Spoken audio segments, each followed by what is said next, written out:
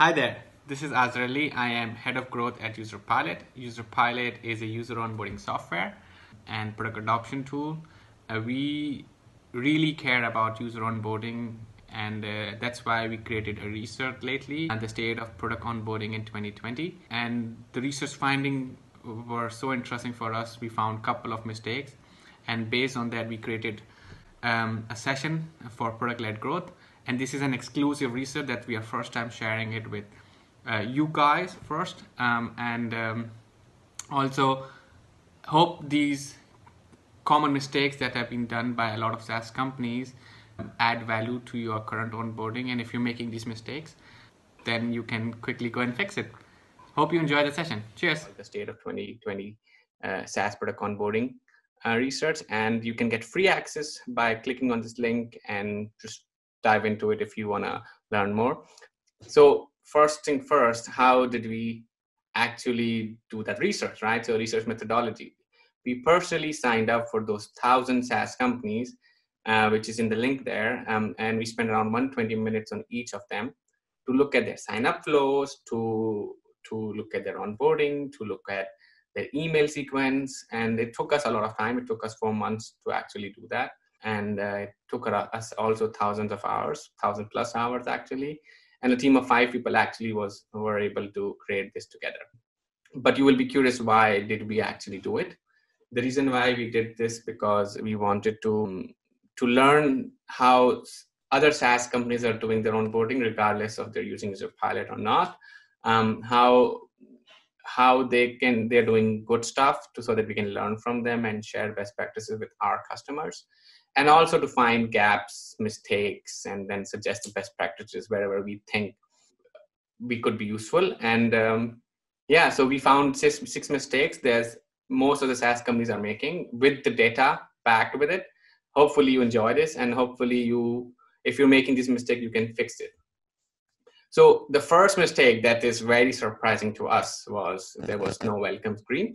Uh, around 40% of SaaS companies still don't have any kind of uh, new user welcome screen where they are welcoming the user, where they are telling the user, hey, um, we we welcome you to our app and click here for the first action they want to drive towards. And this was very surprising. Um, imagine right now, for example, instead of digital world, you're in a physical world and you go to a restaurant. There is somebody at the door greeting you when you go into that restaurant, and uh, after greeting in, people come people come to you the waiter comes to you and then they give you the menu card.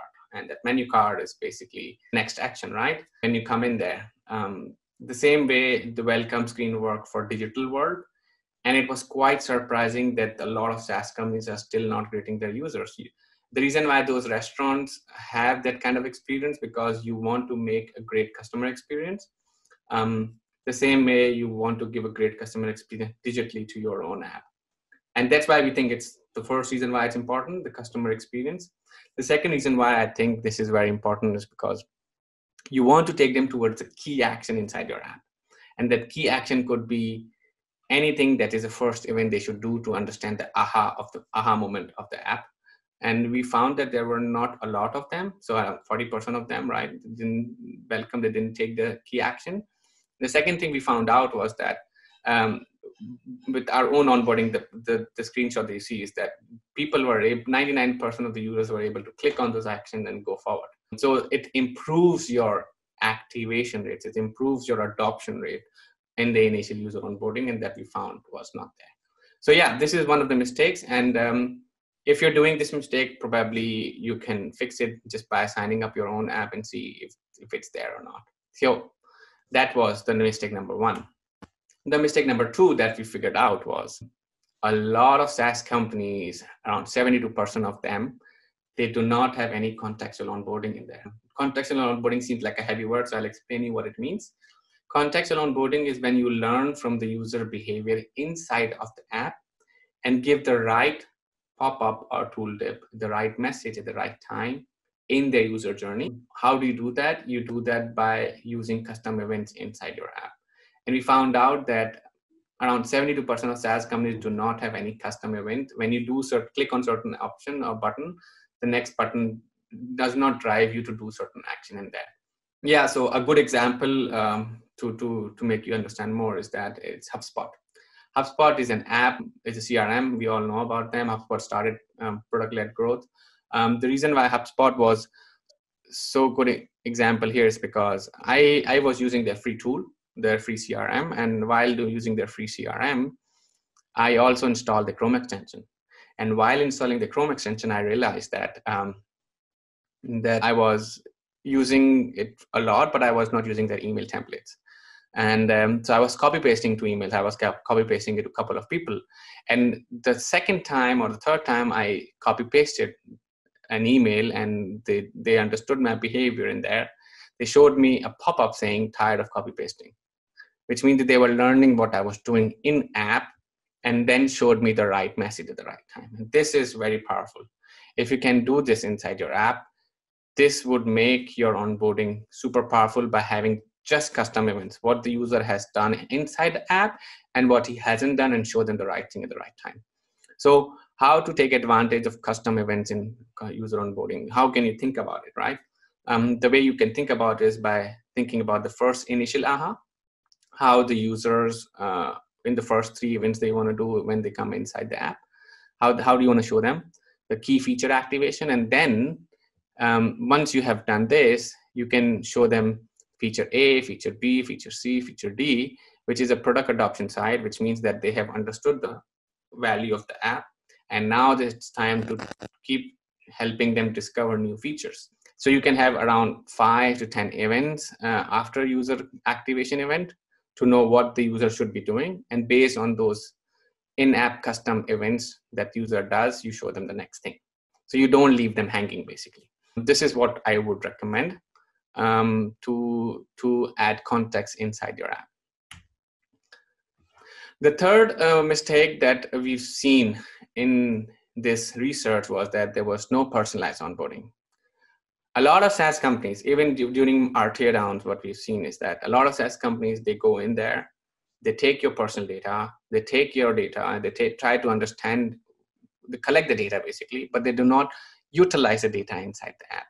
And that's something that I would highly recommend to utilize those data points that you're asking. It's just not for your CRM, it's also for the users inside the app as well.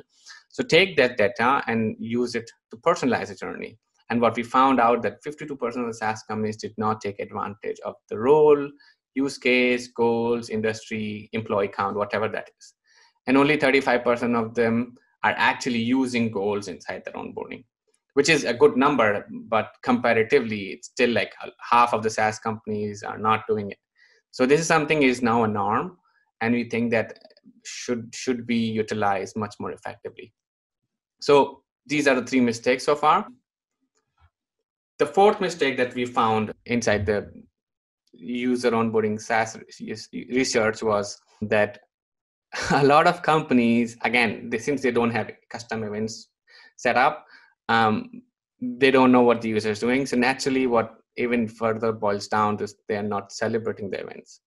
Um, I think user onboarding should have milestones, and um, I also believe that SaaS companies have a lot of superpowers. Either save the user's time, do a lot of things. It can uh, SaaS companies have a lot of superpowers. It can make them productive. It can make them intelligent by analytics. There are a lot of things that are there, which based on different SaaS companies and these superpowers when somebody understood the superpowers of that SaaS company in the user onboarding, you should be able to celebrate that. And um, which was kind of a letdown that only 17% of companies are actually using user milestone. Um, and this should be part of the onboarding, which we do recommend to our customers as well. And the best way to actually add the milestone is to just have a simple checklist. Um, Userpilot also provide a simple checklist there. Um, um, you can use Userpilot checklist but like just put any kind of checklist. Only 54 companies are using checklist and 46% are not so checklist is now a norm right so checklist is something that's there and it improves activation rate and everybody knows it knows it but still 46% of the companies are not using it um, which was kind of again a letdown. You can add those milestones user to understand what they have done inside the app. Um, yeah, and it improves user activation as well. Um, so that was the mistake, the number four mistake, which was not celebrating the milestone um, and not sharing those superpowers, right? So that was something what very interesting for us, and we do would rec- we do recommend our users to add those checklists and milestones so the user can understand what they have achieved so far. The fifth mistake that we've seen, um, and this is something that I thought will not be there, uh, which uh, is um, that I, I, thought that a lot of companies are already doing this. This was when user does something inside the app, um, users get an in-app event, the behavior triggered event, uh, which is aligned to an email. So the email automation is not a new norm. Email automation is there. So whatever the user does something inside the app, you send them an event. Hey, great, you did something. Uh, this is the next step. So not only in app, also but also out app onboarding is really important and the reason why i'm saying is because um, we uh, you see this email uh, that was fast is when the user actually installed the chrome extension uh, in Userpilot. So in Userpilot the first thing user should when they sign up we tell them to install the chrome extension as you see in the welcome screen. And the second thing we tell them after installing the chrome extension is to is to install the javascript. These are two big events or uh, install uh, try triggering experience. Um, so what we found out that um, after right away when the user uses an in-app event, does an in-app event, we get we we send them an email, and the email response rate was seventy percent. So this was the best practice that we found out, which works for us. Um, and we found out that 88% of SaaS companies did not send any email based on in-app triggers. Uh, yes, they do send it based on days, but in-app events are still missing, which means that if the user does something in the first 60 minutes or two hours uh, of initial onboarding you should you should if they have achieved something if they've done something you should take them to the next step by showing them an x email which was again missing and we do recommend uh, that to connect your in-app onboarding to out-app onboarding to completely give a great experience to the user. And uh, yeah so that was a mistake number five. Now we have the last mistake, and this is something that we preach to our customers as well.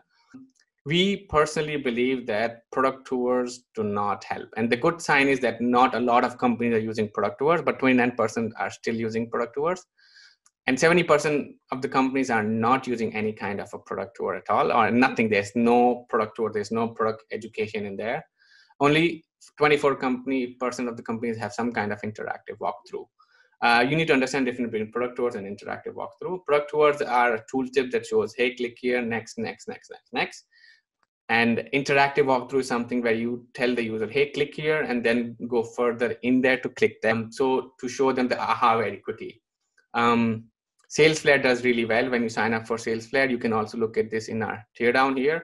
Just search Salesflare interactive walkthrough and you will find something which is basically our teardown this interactive walkthrough is something amazing because uh, they have actually spent time on it and what i believe that if you're able to create a driven action based interactive walkthroughs where you tell the user hey click here then click there to understand what the feature does rather than just educating them uh, the user is much more likely to understand the product better and instead of just showing them product work click next click next and click next so the left example is Venngage um, they have a product tour in there. They tell talk about certain buttons in their editor, and the right one is Salesflare. Uh, so 24% of the companies have some kind of interactive walkthroughs, but they sh- like 76% of them still don't.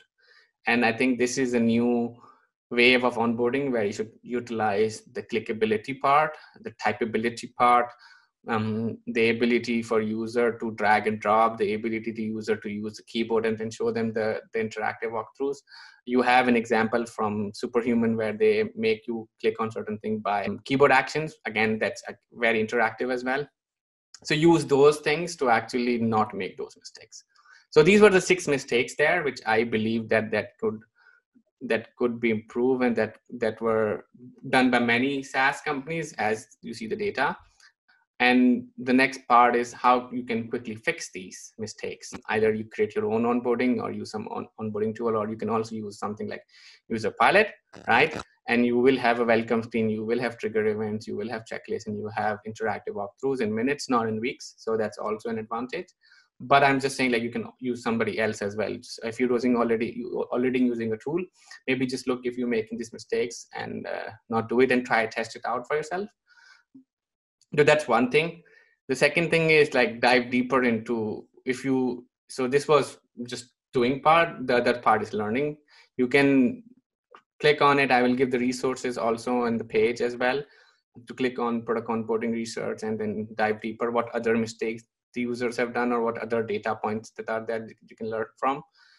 You can definitely join a product adoption school. That's a five email course based education academy that we've created for free so that users can and visitors can learn from it. And if you want to improve your own uh, product adoption uh, not only existing product adoption but also new user product adoption that's that's great for that.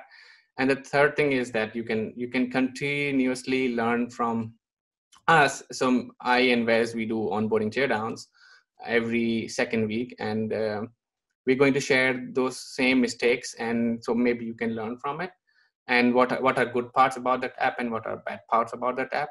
Um, and maybe you can learn from it. Maybe it's fun for you and um, you can also fix those in your own app as well. And maybe it gives you ideas. So that was a quick fix for those six mistakes. I'm basically done. I would like to thank you for watching this uh, uh, summit video. Perhaps it helps you. You can definitely reach out to me at that email address aazar at userpilot.co and on my Twitter, Aazar Shad. Um, you can also comment below in the in the summit. and tell us what what was surprising for you, what was interesting, what do you still challenge that might not be true. Obviously, you also might have signed up to a couple of apps as well. Um, so very excited. This is just a starting point. I would love to discuss further on the forum and listen to what other ideas you have. If I've missed anything, couple of mistakes Wes has also mentioned in his own definitive guide. I have not mentioned that because that's already known. Uh, I've I've just given those mistakes that were I, that I think were relevant and a bit newer as well. So that's all from my side. Have a good rest of the day and wherever you are, uh, and uh, keep learning. And uh, feel free to reach out if you have any questions. Thanks. Bye bye.